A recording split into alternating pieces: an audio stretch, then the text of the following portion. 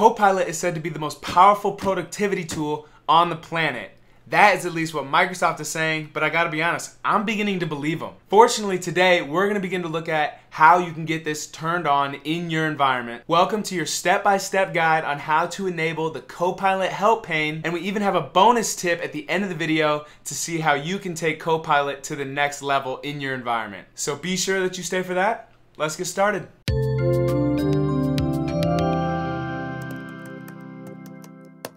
So what you're gonna do, you're gonna go ahead and open up the make.powerapps.com, go to your environment here, and then you're gonna navigate to apps.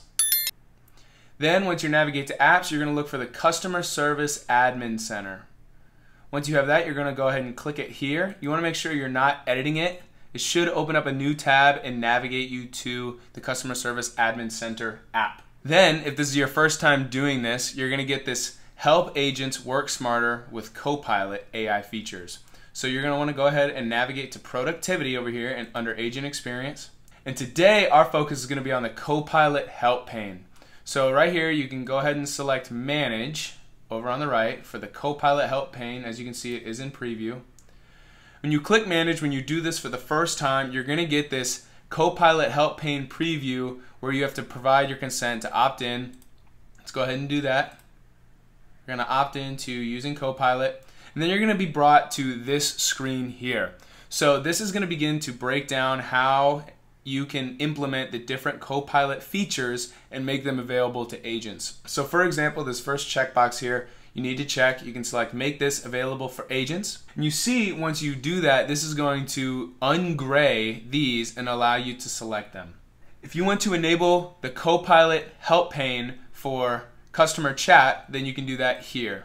If you wanted to do that for emails, you can do that here as well. You can select one of them, both of them, neither of them, but this is going to be where you are turning on this feature in your app. Next, under Agent Access, this is where you can begin to utilize Agent Experience Profiles. So Agent Experience Profiles are different privileges that you can assign either to a single user or a group of users. You can think of these like security groups or teams in your environment. You can add different users to an Agent Experience Profile, and that profile then is going to limit certain Copilot capabilities that you can set up.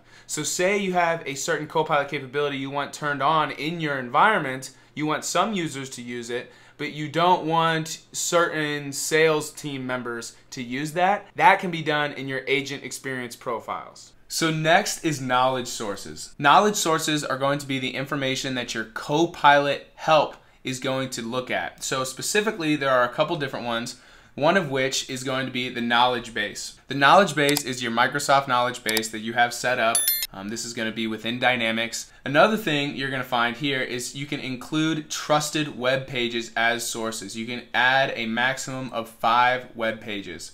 So as you can see here, you can enter different web pages up to five. You can also remove them if necessary. So these five trusted web sources, how do they work? If you put in a web source here, this web source has to be available to the Bing API. It cannot be behind a business firewall or it cannot be a personal um, web page. It needs to be something that could be readily accessed on Bing. And then these links can actually look two levels deep. So say for example, you put in www.website.com, that can then look drill down into website.com to see website.com slash X and then it can look into slash x one level down to be slash x slash y.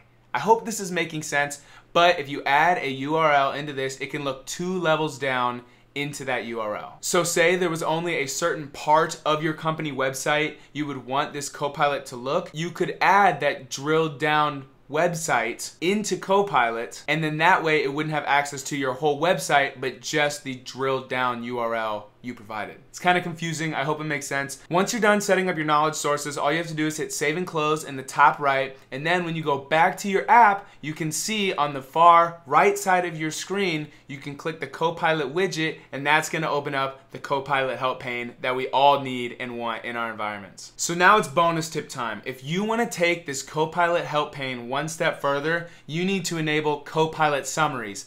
But in order to learn how to do that, you're gonna have to watch this video here that's gonna be a step-by-step guide on how to turn on your Copilot summaries. If you enjoyed today's video or have any tips on how to enable and get more use out of Copilot, put them down in the comments down below. As always, my name is Griffin Lickfeldt. Thank you guys for sticking to the end of the video. We'll see you in the next one.